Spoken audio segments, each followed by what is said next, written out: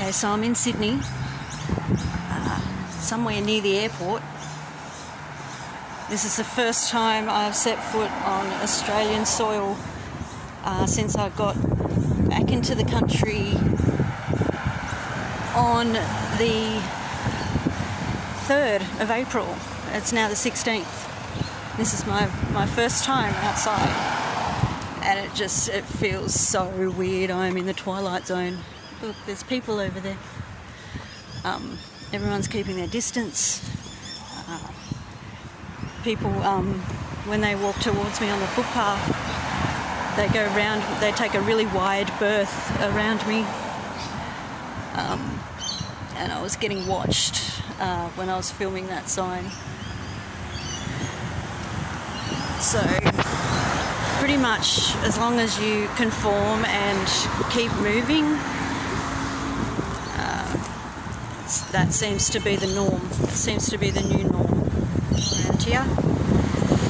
But it's it's just it's really weird to be out.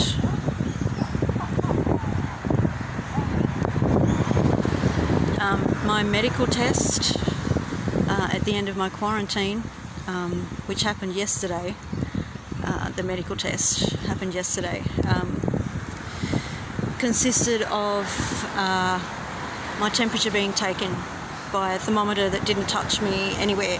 Uh, they held it near my near my forehead and took my temperature and said, "Okay, I'm good." Asked me if I had any symptoms. I said no, and I was cleared. Um, but I wasn't allowed to leave the motel until today. Yeah, so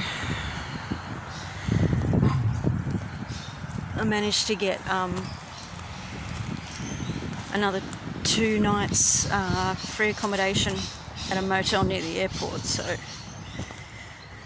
but um, after that, uh, I don't have enough money for accommodation um, until the 24th. So for another week, um, I've got enough for a bit of food and to store my luggage. Uh, but um, wow, do I have a story to tell? Okay, so I just got one of these for the first time in two weeks. it was all um, instant coffee in the room, so I'm going to sit down and drink it and enjoy until somebody tells me to get up again. Um, okie dokie, be safe all. Love you guys. See yous.